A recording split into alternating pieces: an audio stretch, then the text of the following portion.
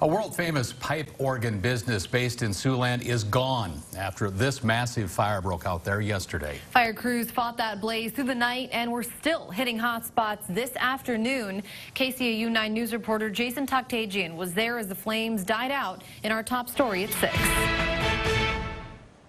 Tim and Sophie Dobson Pipe Organ Builders opened in 1974 and is known around the world for its keyboard instruments. A fire yesterday afternoon resulted in the total loss of the building, organs, and years of history.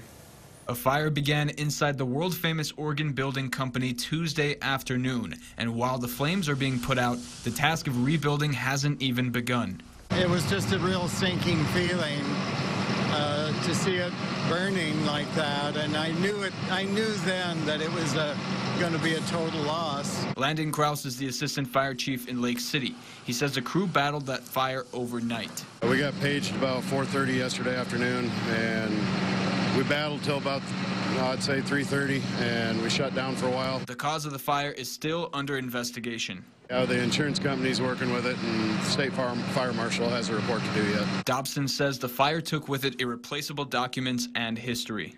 So there was a lot of correspondence and uh, drawings and, uh, you know, all of that kind of material uh, from the planning of, of the 97 organs that we had built. And so all of those drawings and all that correspondence was destroyed. Including a collection dear to his heart.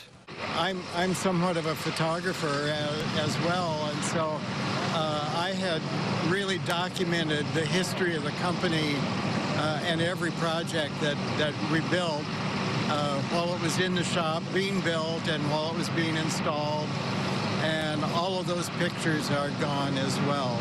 Dobson, however, is grateful for the love they've received from the community. We've had people offer us office space to set up in.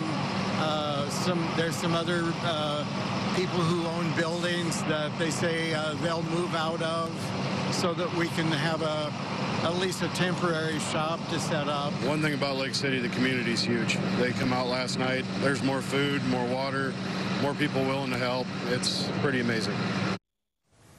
We spoke with the owner, John Panning, who's currently out of town. He told me that he would like to, quote, thank the firefighters and the members of the Lake City community that have rallied around us and we get back on our feet, end quote. Jason Takhtadjian, KCAU 9 News.